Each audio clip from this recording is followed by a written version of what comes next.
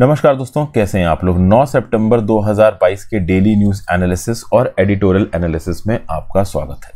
एक बड़ी important news है आज, इंडिया और चाइना ने एल फ्रिक्शन पॉइंट पीपी 15 से डिसंगेजमेंट शुरू किया है। ये गोगरा हॉट स्प्रिंग इलाके में आता है। इसको मैप में भी आपको दिखाऊँगा, इश्यू को समझाने की कोशिश करूँगा। और न्यूज़ आज कौन कौन सी है? तो इकोनॉमिकली वीकर सेक्शन के लिए जो कोटा लाया गया था केंद्र की सरकार के द्वारा, उसमें तीन क्वेश्चन के ऊपर यहाँ पे सुप्रीम कोर्ट बहस करेगा। वो कौन से तीन क्वेश्चन हैं, इसको देखेंगे। याकूब मेनन, जिसने 1993 के बॉम्ब ब्लास्ट में एक निगेटिव रोल प्ले किया था, इसने ओवरऑल अपने भाई टाइगर मेमन की मदद की थी बॉम्ब ब्लास्ट करवाने में, मुंबई में 1993 में। इसको 2015 में फांसी पे चढ़ा दिया गया। अब इसकी जो कबर है मुंबई मरीन लाइंस में, उस कबर को ब्यूटीफाई किया गया। इस रिस्पेक्ट में थोड़ी पॉलिटिकल कंट्रोवर्सी हो गई है। इसको देखेंगे। नेशनल क्राइम रिकॉर्ड ब्यूरो की ऑफेंसेस लिस्ट में आसाम सबसे ऊपर है। इसके बारे में बात करेंगे। यूएस एफ़ सिक्सटीन फ्लीट के लिए साढ़े चार सौ मिलियन डॉलर्स दे रहा है। अगर एक मिलियन डॉलर को आठ करोड़ मारो तो आठ पच्चीस चालीस और चकबती छत्तीस सौ करोड़ रुपए यूएस यहाँ पे दे रहा है पाकिस्तान को एफ़ सिक्सटीन खरीदने के लिए। और सबसे पहले अगर ये एफ़ सिक्सटीन पाकिस्तान किसी के अगेंस्ट भी इस्तेमाल करेगा तो वो इंडिया के अगेंस्ट इस्तेमाल करेगा। इससे आप पता कर सकते हो कि यूएसए भी कोई सांप कंट्री से कम नहीं है।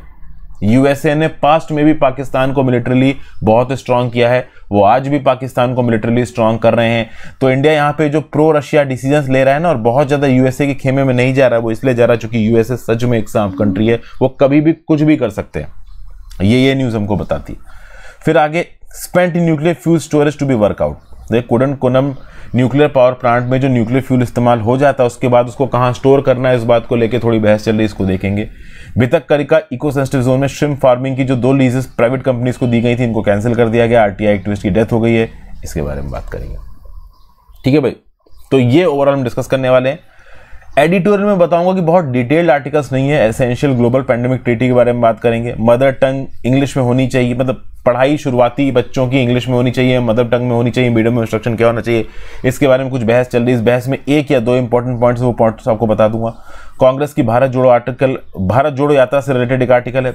A I A D M K party में Palaniswami versus Panneerselvam में अभी के लिए क्या चल रहा है, इसके बारे में बात करेंगे। और जर्नलिज्म में एविडेंस जुटाना क्यों इतना मुश्किल हो जाता है, इसके बारे में बात करेंगे। तो कुछ इतने आर्टिकल्स हैं जो कि मैं आपके साथ डिस्कस करूँगा। वैसे तो इनमें से ज़्यादातर आर्टिकल्स में बहुत डिटेल्ड डीप पॉइंट्स ऐसे नहीं दे रखे हैं जो कि हमारे काम आए या इनफैक्ट अंडरस्टैंडिंग के लिए भी काम के हो जो मेन क्रक्स चीज़ें वो तो मैं सारी आपको बताऊँगा वर्ड ऑफ़ द डेज़ लिखते हैं जेंडेवस rendezvous I am sorry for my pronunciation pronunciation मेरा कभी कभी इंग्लिश के कुछ वर्ड्स में बहुत गंदा होता है, मैं इस बात को मानता हूँ।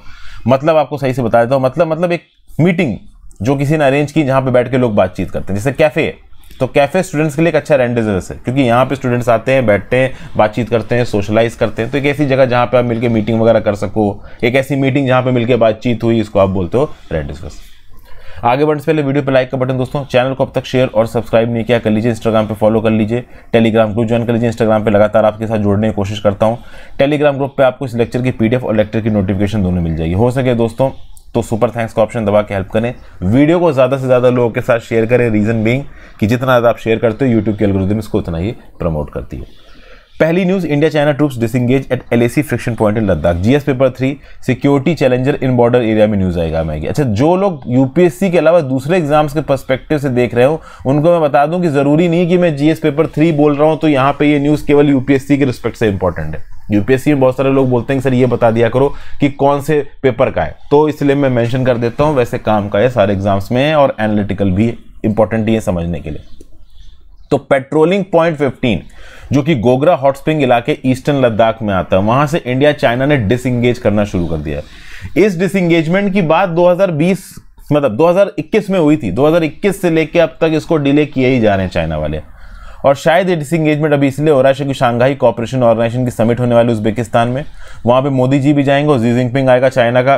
तो हो सकता है कि इस डिसंगेजमेंट के बाद दोनों की फ़िज़िकल मीटिंग हो जाए। दोनों लीडर्स ने नवंबर 2019 से लेकर अब तक कोई बातचीत नहीं की नवंबर 2019 में ब्रिक्स समिट हुई थी ब्राजीलिया में। वहाँ पे इनकी बातचीत हुई थी। अप्रैल 2020 में चाइना ज़बरदस्ती इंडियन लैंड में घुस आया किया इंगेजमेंट मतलब इंक्रोचमेंट किया उसने। तो इस कंटेक्स्ट में तब से कोई बातचीत यहाँ पे नहीं हुई। फॉरेन मिनिस्टर्स की बातचीत हुई है डिफेंस मिनिस्टर्स की बातचीत हुई है डिप्लोमेट्स की बातचीत हुई है। Leader to leader Xi Jinping Modi ji की कोई बातचीत नहीं तो इससे पहले सिक्सटीन राउंड ऑफ़ टॉक्स हुई थी कॉप्स कमांडर लेवल 17 जुलाई 2022 Chushul border personnel meeting point पे, इंडियन साइड पे। और उसके बाद 8 सितंबर 2022 को ओवरऑल अगर आप देखो तो गोगरा हॉट स्प्रिंग का पेट्रोलिंग पॉइंट 15 यहाँ पे इंडिया और चाइनीज़ ट्रूप्स डिसंगेज कर रहे हैं, पीछे की तरफ़ हट रहे हैं। बीच में यहाँ पे एक बफर जोन बनाया जाएगा। इस बफर जोन में इंडियन सोल्जर्स और चाइनीज़ सोल्जर्स किस प्रकार से पेट्रोलिंग करेंगे, इन सब चीज़ों के ऊपर बातचीत शुरू हो चुकी है और अगले शायद एक हफ़्ते में बातचीत कंप्लीट हो जाएगी। हालाँकि मैं आपको एक बात बता दूँ ये जो पेट्रोलिंग पॉइंट 15 है, ये इंपॉर्टेंट है इंडिया के लिए बट इससे ज़्यादा दो और पॉइंट्स इंपॉर्टेंट है। एक तो है देमचोक और एक है दिप्सांग अगर आप ओवरऑल इस पर्टिकुलर मैप को देखो तो यहाँ पे ऊपर की तरफ़ ये जो PP ten to thirteen block in Depsang sector ये वाला जो पर्टिकुलर इलाका है ना, ये मेन क्रूशियल पॉइंट है। क्योंकि ये क्रूशियल पॉइंट अक्सई चीन को सियाचिन ग्लेशियर के टॉप पॉइंट से जोड़ता है। तो इस पर्टिकुलर जगह पे अगर चाइनीज़ इंक्रोचमेंट करके बैठे हैं तो वो इंडिया के लिए स्ट्रेटेजिकली निगेटिव है। गलवन वैली में तो हमने उनको पीछे ढकेला। गलवन वैली में ही वो खतरनाक लड़ाई हुई थी, ठीक है ना? जिसमें हमारे 20 जवान शहीद हो गए थे। गोगरा हॉट स्प्रिंग्स में पेट्रोलिंग पॉइंट 17 ए से डिसंगेजमेंट हो चुका है। नॉर्थ और साउथ बैंक से पैंगोंग सो से डिसमेंट हो चुका है। गलवन वैली में हो चुका है। पेट्रोलिंग पॉइंट 15 में शुरू हो चुका है। इसके बाद बचेगा डेमचौक और आपका देपसांग अब चाइनीज़ का यह बोलना है कि डेमचौक और देवसोंग ये अभी के स्टैंड ऑफ़ का हिस्सा है ही नहीं। इसके लिए हम इस पर कोई बात, मैं आपको बता दूँ, सबसे ज़्यादा अगर स्ट्रेटेजिकली तीन पॉइंट्स इंपॉर्टेंट थे चाइना के लिए तो उसमें था आपका एक देवसांग प्लेन्स एक था आपका गलवन वैली जो कि गलवन वैली में श्योक नदी वाला एंगल आ जाता है। और एक था आपका पैंगोंगसो पैंगोंगसो और गलवन वैली में तो इंडिया बहुत ज़्यादा एग्रेसिव हो गया। चाइना को डिसंगेजमेंट करना पड़ा। लेकिन देवसांग प्लेन्स में काफ़ी लंबे समय से चाइना इंक्रोचमेंट करके बैठा है, ऐसी भी कुछ न्यूज़ निकल के आ रही है। इसलिए चाइना डेपसांग प्लेन्स को और देमचाक को अभी के डिसंगेजमेंट या डिस्कलेशन या फिर कह ले जो जो भी स्टैंड ऑफ़ चल रहा है, उसका हिस्सा मान ही नहीं रहा है। तो अभी भी चाइना की तरफ़ से डेमचौक और देवसांग को लेकर बिल्कुल निगेटिव कमेंट्स निकल के आ रहे हैं। हालाँकि भारतीय ऑफिशियल्स ने बोला है कि इस पर्टिकुलर दो पॉइंट्स को हम लगातार चाइना के साथ बातचीत में लाते रहेंगे। दोनों साइड पे सी में पचास हज़ार सोल्जर्स डिस्प्लॉयड हैं। चाइना ने मैसिव बेसिस पे इंफ्रास्ट्रक्चर हैबिटेट सपोर्ट स्ट्रक्चर बना रखे हैं अपनी साइड पे। Okay line of actual control के पास टूप डिप्लॉयड है। इंडिया की तरफ़ से भी चाइना की तरफ़ से भी। अगली न्यूज़ पे आ जाते हैं। GS paper two judicial reservation supreme court ने इकोनॉमिकली वीकर सेक्शन के कोटा को डिसाइड करने के लिए तीन क्वेश्चंस को आइडेंटिफाई किया है। एक कॉन्स्टिट्यूशन बेंच जिसको लीड कर रहे थे chief justice of India UU Lalit साहब। 8 सितंबर 2022 को इस कॉन्स्टिट्यूशनल बेंच ने तीन क्वेश्चंस के ऊपर एग्जामिनेशन करने की बात की। 103वां जो कॉन्स्टिट्यूशनल अमेंडमेंट था, जिसने इकोनॉमिकली वीकर सेक्शंस को 10 परसेंट का कोटा बेनिफिट दिया। इसको लेके बहुत सारी पिटिशंस फ़ाइल हुई थी हाई कोर्ट में सुप्रीम कोर्ट ने। सुप्रीम कोर्ट ने सबको क्लब किया है। और अभी जो पाँच मेंबर्स की बेंच बनी है, वो पाँच मेंबर्स की बेंच तीन क्वेश्चन के ऊपर बातचीत करेगी। पहला क्वेश्चन तो ये है कि अगर इकोनॉमिक क्राइटेरिया के बेसिस पे आप रिजर्वेशन देते हो स्पेशल प्रोविजंस बनाते हो तो क्या वो basic structure of the constitution को वायलेट करता है? पहला क्वेश्चन ये। दूसरा सेक्शन ये कि क्या basic structure of the constitution violate होगा अगर स्पेशल प्रोविजंस बनाए जाए एडमिशंस के लिए प्राइवेट अनएडेड इंस्टीट्यूशंस में? मतलब कि सरकारी गवर्नमेंट कॉलेजेस में तो रिजर्वेशन है, हमें पता है। बट क्या प्राइवेट कॉलेजेस में हम रिजर्वेशन करते हैं तो वो अलाउड है? क्योंकि प्राइवेट कॉलेज में सरकार को भी मदद मिल नहीं रही। तो प्राइवेट केसेस में प्राइवेट कॉलेजेस में नॉर्मल कर आपका कोई रिजर्वेशन नहीं माना जाता है। तो क्या भले ही इन प्राइवेट कॉलेजेस को कोई सरकारी मदद नहीं मिल रही, तब भी इनका रिजर्वेशन लाया जा सकता है? एक तो इस क्वेश्चन के ऊपर बातचीत होगी, बड़ा इंपॉर्टेंट क्वेश्चन है। तीसरा, अगर आप ईडब्ल्यू कोटा क्लेम कर इकोनॉमिकली वीकर सेक्शन कोटा तो इकोनॉमिकली वीकर सेक्शन कोटा के अंदर other backward classes schedule caste schedule tribes और सोशली एजुकेशनली बैकवर्ड क्लासेस के बच्चे फॉर्म नहीं भर सकते। देखिए अगर कोई ओबीसी का बच्चा है एससी का बच्चा है एसटी का बच्चा है तो उस कंटेक्स्ट में अगर वो अपनी कैटेगरी का बेनिफिट ले रहा है वेल एंड गुड लेकिन अगर वो अपनी कैटेगरी का बेनिफिट नहीं ले रहा तो उस केस में ईडब्ल्यू e कोटे का बेनिफिट नहीं ले सकता। मतलब अगर आप S C S T OBC हैं एस बी सी हैं तो आप ईडब्ल्यू e कोटे में कंपीट नहीं कर सकते। तो अब होता यह है कि अभी के लिए जब ईडब्ल्यू e कोटा नहीं था तो कोटा क्या क्या था? जनरल था भाई एस सी था ओबीसी था। तो उस केस में ओबीसी एस सी के बच्चे अगर कोटे से फॉर्म भरते हैं, लेकिन जनरल कैटेगरी के मेरिट में क्वालिफाई करते हैं तो जनरल में काउंट किए जाएँगे। ओबीसी की सीट में काउंट नहीं किए जाएँगे। लेकिन सरकार ने ईडब्ल्यू e लाते वक्त साफ़ साफ़ बोल दिया कि इकोनॉमिकली वीकर सेक्शन की सीट नहीं मिलेगी आपको। तो ये तीसरा वाला लॉजिक पे भी बेसिकली बहुत सारे लोग बोल रहे हैं कि भाई ये तो गलत बात है, आप ओबीसी एस सी को ईडब्ल्यू में जगह क्यों नहीं दे रहे तो तीन मेन पॉइंट्स के ऊपर यहाँ पे बातचीत होगी। ठीक है ना? अटॉर्नी जनरल ऑफ़ इंडिया के के वेणुगोपाल सरकार को रिप्रेजेंट करेंगे। Chief justice U U Lalit साहब ने बोला कि इन सारे क्वेश्चंस के ऊपर जो भी काउंटर पॉइंट्स वगैरह हैं, वो यहाँ पे दिए जा सकते हैं। ठीक है ना? ईडब्ल्यू e कोटे को प्रॉपर तरीके से यहाँ पे एनालाइज किया जाएगा। अगस्त 2020 में ये मुद्दा ऑलरेडी सुप्रीम कोर्ट की तीन जज बेंच के सामने पहुँचा था। सुप्रीम कोर्ट की तीन जज बेंच ने बोला कि 103 में कॉन्स्टिट्यूशनल अमेंडमेंट को पाँच जज की बेंच देखेगी और पाँच जज की बेंच फाइनली इसको हियर कर रही है। आर्टिकल 15 और 16 को अमेंड करके इकोनॉमिक बेसिस पे जो रिजर्वेशन देने की बात कर दी थी सरकार ने, उसको यहाँ पे चैलेंज किया जा रहा है। तो क्या इकोनॉमिक बेसिस पे यहाँ पे रिजर्वेशन नहीं आना चाहिए? देखिए, मैं आपको एक बात बताऊँ दोस्तों। ये बात बिल्कुल सही है कि हमारे देश के पास्ट में जो अपर कास्ट है, उन्होंने लोअर कास्ट को दबाया है। इसमें कोई डाउट नहीं है, ये बात बिल्कुल सच है। एक समय पे जो हमारे यहाँ पे डिप्रेस क्लासेस थी, वो बहुत परेशान थी, उनको बहुत प्रताड़ित किया गया। लेकिन जब से हम आज़ाद हुए और जब से ओवरऑल ये कास्ट फैक्टर हटाया जब से इक्वालिटी हमारा संविधान आया है लीगली आप ऐसा कुछ नहीं कर सकते। हालाँकि अभी भी गाँव में, बीहड़ इलाकों में, जहाँ पे वलनरेबल कास्ट हैं डिप्रेस क्लासेस उनको परेशान किया जाता है। पूरी तरीके से तो कास्टलेस सोसाइटी हमारी नहीं हुई है। आज भी बहुत सारे धर्म के ठेकेदार अपनी अपनी चलाते हैं। लेकिन शहरों में, या फिर कह लीजिए जहाँ पे लोग पढ़े लिखे हो गए, पढ़े लिखे लोगों के अंदर कास्टिज्म का एलिमेंट कम हो गया है। कुछ जगहों पे एलिमिनेट हो गया, कुछ जगहों पे कम हो गया है। कुछ जगह ऐसी भी हैं जहाँ पे लोग पढ़े लिखे हैं, लेकिन तब भी अपना कास्टिज्म फैलाते हैं। लेकिन फिर भी दोस्तों, देखिए, समझिए। जो अपर कास्ट है, उन अपर कास्ट में भी कुछ ऐसे बच्चे हैं जो बहुत डिसएडवांटेज हैं। आपको क्या लगता है, जो अपर कास्ट हैं, जिन, जो जनरल कैटेगरी में आते हैं, वो सब अमीर हैं क्या? सब सोशली एडवांटेज है क्या? ऐसा नहीं है। उसमें से भी बहुत सारे लोग डिसएडवांटेज हैं। उन्हीं डिसएडवांटेज लोगों के लिए इकोनॉमिकली वीकर सेक्शन का कोटा लाया गया है। अब ओवरऑल रिजर्वेशन में बहुत सारे लोगों का ये बोलना है कि रिजर्वेशन केवल आप सोशल क्राइटेरिया के बेसिस पे दे सकते हो। और ये इंदिरा सानी जजमेंट में भी बोला गया था। लेकिन बात यह है कि सोशल क्राइटेरिया डिसएडवांटेज होने का एक प्रूफ था, पहले था। आज की डेट में इकोनॉमिक क्राइटेरिया भी डिसएडवांटेज होने का एक प्रूफ है। आप सोशली डिसएडवांटेज हो, आपको परेशान किया जाएगा, आप इकोनॉमिकली डिसएडवांटेज हो, तब भी आप बहुत परेशान होंगे। गरीबी किस हद तक इंसान की कमर तोड़ देती है, ये आप सब जानते हो, मुझे आपको बताने की ज़रूरत नहीं है। तो गरीबी के आधार पर अगर यहाँ पे थोड़ा रिजर्वेशन दे दिया जाए तो उसमें मेरे हिसाब से कुछ भी गलत नहीं है। एक गरीब इंसान थोड़ा ऊपर उठ जाए। चूँकि देखिए, पहले जब कास्टिज्म चलता था, आज से 100-200 साल पहले, आज से 50-60 साल पहले भी, अभी भी जहाँ जहाँ पे चलता है, मैं मानता हूँ कि अपर कास्ट के लोग लोअर कास्ट के लोगों को दबाते हैं। और कुछ आप, आज की डेट में अगर कोई लोअर कास्ट का इंसान दब रहा है तो भाई गड़बड़ है। लोअर कास्ट के इंसान अगर मान lower caste in the sense जो सो कॉल्ड बनाई गई थी हमारे यहाँ पे। हमारी सोसाइटी में धर्म के ठेकेदार ने, ठीक है ना, ब्राह्मण ये क्या नाम से आपका, क्षत्रिय, शूद्र, वैश्य बना दिया। अब उन्होंने ये सिस्टम बना दिया। भगवान ने तो सिस्टम बनाया नहीं तो ये ह्यूमन मेड सिस्टम है। ये ह्यूमन मेड सिस्टम गलत है। तो जो सो कॉल्ड डेप्रेस्ड क्लासेस है, जिनको ज़बरदस्ती नीचे दबाया गया है, उनको भारतीय संविधान ने बराबरी दे रखी है। और उनको कोई दबा रहा है तो तुम पलट के साले को मारो। ठीक है ना? तुम दबना नहीं चाहिए। लेकिन कुछ जगहों पे लोग कमज़ोर होते हैं, वो नहीं पलट के उतना लड़ पाते हैं, डर मतलब अपना यू नो इन्फ्लुएंस दिखा पाते हैं। तो उस कंटेस्टमेंट को दबाया जाता है। बट फिर भी लीगली अलाउड नहीं है। आप पुलिस के पास जा सकते हैं। आप national commission for schedule caste के पास जा सकते हैं। आप national commission for schedule tribes के पास जा सकते हैं। आप हाई कोर्ट के पास जा सकते हैं। सुप्रीम कोर्ट के पास आपके पास बहुत से ऑप्शन अवेलेबल है।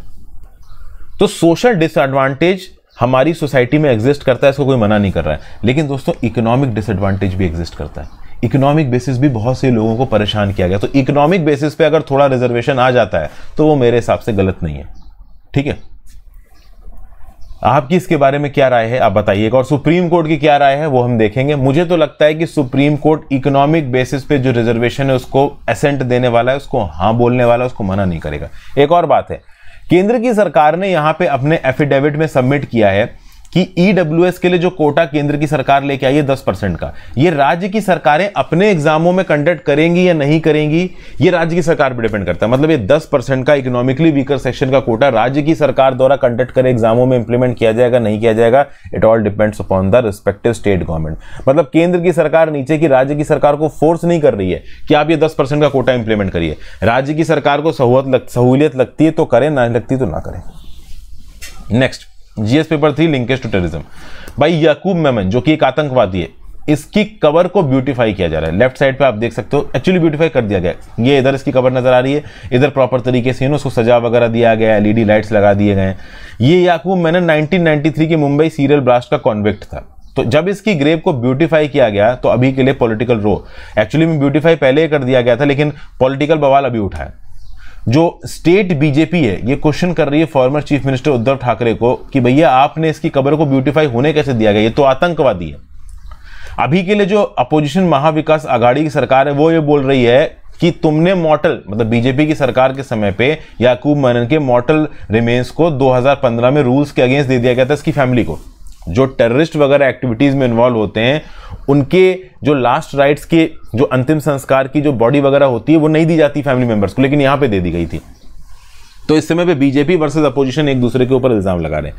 ओके ठीक है ना? तो ब्यूटिफिकेशन कैसे करने दिया जाए, इसके ऊपर इल्ज़ाम लगाया। हालाँकि जब एलईडी लाइट्स वगैरह लगाई गई, पुलिस को बाद में पता चला तो एलईडी लाइट्स वगैरह निकाल भी दी गई। ये बाबा कब्रिस्तान करके है मरीन लाइंस पे, जहाँ पे ओवरऑल व्हाइट मार्बल और एलईडी लाइट से इसकी ग्रेव को सजाया वगैरह गया था। हालाँकि इस कब्रिस्तान में जो भी वर्कर्स काम करते हैं, उन्होंने बोला कि शब बारात के समय पे ऑलमोस्ट पूरे कब्रिस्तान को थोड़ा बहुत सजा दिया जाता है। हालाँकि बाद में मुंबई पुलिस ने एलईडी लाइट्स वगैरह यहाँ से हटा दी थी। तो इसके ऊपर काफ़ी पॉलिटिक्स शुरू हो गई। बीजेपी अपोजिशन के लोग एक दूसरे के ऊपर इल्ज़ाम लगा रहे हैं, ठीक है? तो ये यहाँ पे चालू हुआ। एक इवेंट है तो मैंने आपके साथ डिस्कस कर लिया। याकूब अब्दुल रजाक मेमन। इसको टेररिज्म के लिए कॉन्विक्ट किया गया था। 1993 के बॉम्बे बॉम्ब ब्लास्ट में इसका हाथ था। इसने अपने भाई टाइगर मेमन की मदद की थी इन बॉम्ब ब्लास्ट को कराने में। इसके लिए प्रॉपर डॉक्यूमेंट्री बनी है, शायद ब्लैक फ्राइडे से नाम के। आप जाके उसको देखिएगा, आपको आइडिया लगेगा। 30 जुलाई 2015 को इसको नागपुर सेंट्रल जेल में फांसी पे चढ़ा दिया गया। टाइगर मेमन और दाऊद इब्राहिम ने मिलकर ओवरऑल इन बॉम्बिंग्स को एग्जीक्यूट किया था प्लान किया था। और टाइगर मेमन के जो फंड्स थे ना उसको हैंडल कर रहा था याकूब मेनन। तो बेसिकली फाइनेंसेस में ओवरऑल इसका हाथ था, लेकिन इसको बहुत अच्छी तरीके से पता है कि ओवरऑल आर्म्स एम्यूनिशन आए थे बम फोड़े जाने वाले थे मतलब पूरी तरीके से ये क्यू एक्यूज था इन बॉम्बिंग्स में, और इसको बाद में फांसी पे चढ़ाया गया। अगली news national crime records bureau में जो ऑफेंसेज हुए हैं, उस कंटेक्स्ट में आसाम टॉप कर रहा है ऑफेंसेज अगेंस्ट देखिए क्या है। अगर आप एक्सटॉर्शन और ब्लैकमेलिंग की बात करो तो एक्सटॉर्शन और ब्लैकमेलिंग से रिलेटेड क्राइम सबसे ज़्यादा अगर किसी स्टेट में रिपोर्ट हुए इंडिया में तो वो है नागालैंड इन फैक्ट अगर आप देखो तो नागालैंड ने 159 एक्सटॉर्शन और ब्लैकमेलिंग के केसेस रिपोर्ट किए हैं 2021 में. इसको अगर देखा जाए तो पर एक लाख आबादी पे 7.6 केसेस ऑल ओवर इंडिया इसका नेशनल एवरेज है, पर एक लाख आबादी पे पॉइंट आठ केसेस बट नागालैंड में ये 7.6 सेकेंड हाइएस्ट है, अरुणाचल प्रदेश में 5.3 इनफैक्ट नागालैंड की पुलिस का यह बोलना है कि भाई केसेस तो पहले से ज़्यादा थे। पिछले एक साल में बहुत सारे अवेयरनेस के इनिशिएटिव्स चलाए गए हैं। पुलिस द्वारा हेल्पलाइन चलाई गई हैं। अगर आपके खिलाफ एक्सटॉर्शन और ब्लैकमेलिंग हो रहा है तो आप पुलिस को बताइए। तो रिपोर्टिंग बढ़ गई है। तो रिपोर्टिंग बढ़ने के चलते हमें नागालैंड में नंबर ऑफ़ केसेस रजिस्टर्ड ज़्यादा नज़र आ रहे हैं। एक्सट्रीमिस्ट ऑर्गेनाइजेशन बहुत पहले से ही एक्सटॉर्शन और ब्लैकमेलिंग बड़े स्केल पर कर रहे हैं नागालैंड के अंदर। ठीक है? तो 2014 से लेकर अब तक एक्सटॉर्शन और ब्लैकमेलिंग में नागालैंड सबसे ऊपर है। हालाँकि ओवरऑल क्राइम की अगर आप बात करो इंडियन पिनल कोड के अंदर जो क्राइम्स होते हैं स्पेशल और लोकल लॉस के अंदर जो क्राइम्स रजिस्टर किए जाते हैं नागालैंड में, वो बहुत कम है। 2021 में पर वन लाख पीपल नागालैंड में क्राइम थे 67.2 सिर्फ़ दमन एंड दीव एक ऐसी यूनियन टेरिटरी जिसके नागालैंड से क्राइम कम थे, नागालैंड स्टेट है। तो स्टेट में सबसे कम crime per one lakh people Nagaland में है। बट एक्सटॉर्शन और ब्लैकमेलिंग की कैटेगरी में सबसे ज़्यादा है। ठीक है?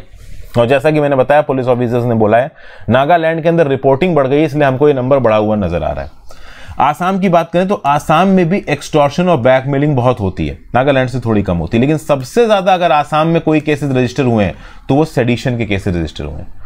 ऑल ओवर इंडिया 2014 से लेकर अब तक 475 सेडिशन के केसेस रजिस्टर हुए हैं, जिसमें से 69 लगभग चौदह दशमलव बावन परसेंट तो अकेले आसाम में रजिस्टर हुए सेडिशन के केसेस को रजिस्टर किया जाता है under section 124 A of the Indian penal code Assam के बाद सेकंड नंबर पर आता है हरियाणा 42 सेडिशन केसेस पिछले आठ सालों में, झारखंड में 40 कर्नाटका में अड़तीस सेडिशन के केसेस फिर अगली news GS paper two government policies environmental conservation government cancels lease for shrimp farming in Bhitarkanika eco sensitive zone भैया, ओडिशा की सरकार ने दो एक्वाकल्चर कंपनीज़ जो कि श्रिम्प कल्चर में इन्वॉल्व थी, इनकी लीजेस को कैंसिल कर दिया है। इनको लीज दी गई थी भितर कैनिका वाइल्ड लाइफ सेंचुरी के अंदर। दो कंपनीज़ कौन कौन सी थी? एक थी थी ओडिशा एक्वा ट्रेडर्स एक थी मरीन एक्सपोर्टर्स प्राइवेट लिमिटेड दिसंबर 2016 में इनको लीज दी गई थी श्रिम फ़ार्मिंग के लिए बनापाड़ा क्लस्टर में।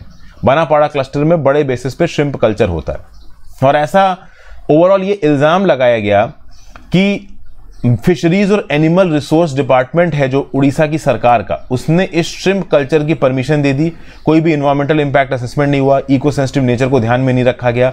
और शायद घूस भी खाई है यहाँ पे ऑफिसर्स ने इस लीज को पाने के लिए। इस प्रकार का यहाँ पे इल्ज़ाम लगाया गया। और ये केस इसलिए सनसनी खेज हो गया क्योंकि एक आरटीआई एक्टिविस्ट है रंजन कुमार दास, जो इस केस को सामने लेके आए थे। इनकी मिस्टीरियस सर्कमस्टांसेस में मृत्यु हो गई। जैसे इन्होंने केस को लोकायुक्ता में फ़ाइल हुआ मिस्टीरियल सर्कमस्टांसेस में इनकी मृत्यु हुई कोई। तो इसके बाद और लोकायुक्त और आप कह लो राज्य की सरकार यहाँ पे सत्ते में आ गई एक्टिव हो गई। तो अभी के लिए उड़ीसा की सरकार ने जो दो कंपनीज़ थी, उड़ीसा एक्वा ट्रेडर्स और मरीन एक्सपोर्टर्स प्राइवेट लिमिटेड इन दोनों के ही लाइसेंसेस को रद्द कर दिया क्योंकि केस बहुत ज़्यादा सनसनी केस हो गया था। देखिए डायरेक्टरी ऑफ़ फिशरीज का बोलना है कि पहले ईयर 2007 में कोई श्रिम्प कल्चर इन्होंने नहीं किया। 2018 में इन्होंने श्रिम्प कल्चर शुरू किया। जो डायरेक्टर ऑफ़ फिशरीज है राज्य की सरकार का, इसने एक शो कॉज नोटिस इशू किया Orissa aqua traders and marine exporters private limited को कि उन्होंने क्लॉज जी और clause H of the lease agreement violate किया है। इस शो कॉज नोटिस के अगेंस्ट जाके उड़ीसा हाई कोर्ट में केस दायर कर दिया कंपनी ने। कंपनी का सिंपल है। किसी भी कंपनी किसी भी आप कह लो यू नो लीगल एंटिटी के ऊपर कोई भी शो कॉज नोटिस अगर सरकारी डिपार्टमेंट देता है, वो दौड़ के पहुँच जाते हैं हाई कोर्ट के पास कि साहब देखो मेरे को परेशान किया जा रहा है सरकारी अथॉरिटीज के द्वारा। लेकिन जब यहाँ पे आरटीआई एक्टिविस्ट की मृत्यु हुई, तब ओवरऑल आप कह लो उड़ीसा की सरकार ने इनकी लीजेस को कैंसिल कर दिया है। हाईकोर्ट में केस पेंडिंग है, उसमें क्या डिसीज़न निकल के आता है, वो जब डिसीज़न निकलेगा, तब हम यहाँ पे बात करेंगे। ये बहुत अनफॉर्चुनेट है कि एक आरटीआई एक्टिविस्ट की यहाँ पे मृत्यु हुई है, उसमें भी ऑब्वियसली बात है, यहाँ पे इंक्वायरी होगी। तो कुल मिला के ये जो दो कंपनीज़ हैं, इनके पास यहाँ पे ये लीजेस चली गई ऐसा बताया जाता है कि जब उड़ीसा के ऑफिशियल्स ने उड़ीसा की कंसर्न डिपार्टमेंट ने ये लीज का जब ठेका दिया उसके लिए कोई भी permission ministry of forest environment climate के द्वारा नहीं ली गई थी। कोस्टल एक्वाकल्चर अथॉरिटी चेन्नई के द्वारा नहीं ली गई थी। इन्वायरमेंटल इंपैक्ट असेसमेंट नहीं कराया गया था। भितरकनिका मैनग्रोव्स में अंदर अनसस्टेनेबल तरीके से श्रिम्प कल्चर चल रहा था। ये सब इल्ज़ाम यहाँ पे लगाए गए और इल्ज़ाम काफ़ी सीरियस है। फिर अगली news spent nuclear fuel storage should be work out supreme court का यह बोलना है कि भाई कुडम कुनम।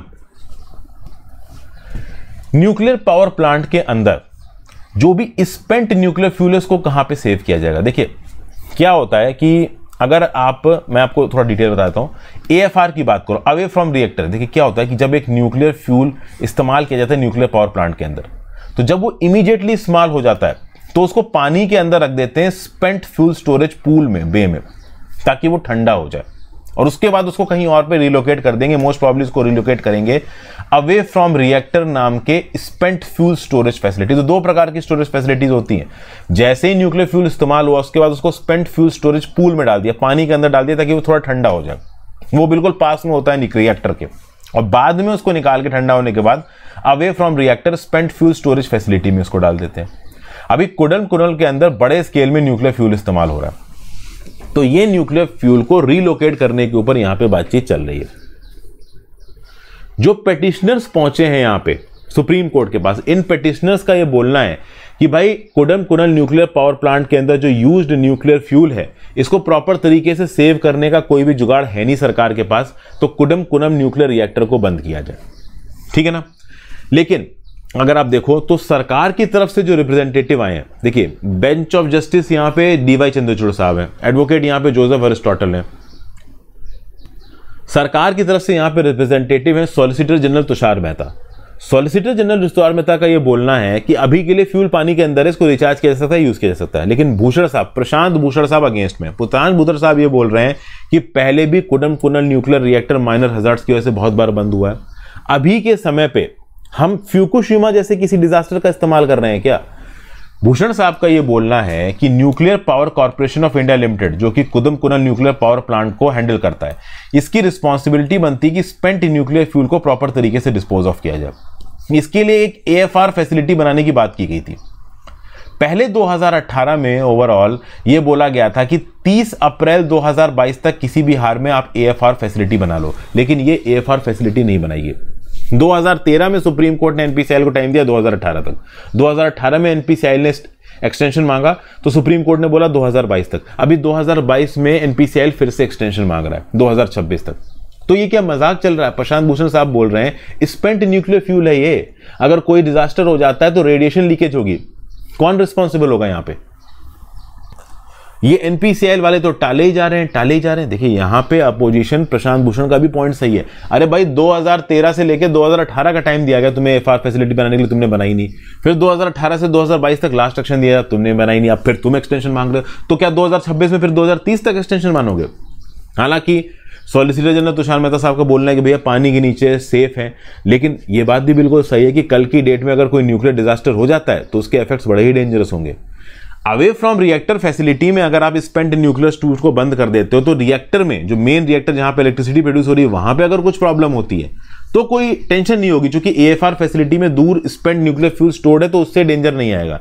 लेकिन अभी न्यूक्लियर रिएक्टर में भी फ्यूल है, उसी के पास पानी के नीचे आपने स्पेंट फ्यूल कर रखा है तो कोई डिजास्टर हो गया तो मेजर स्केल पे होगा।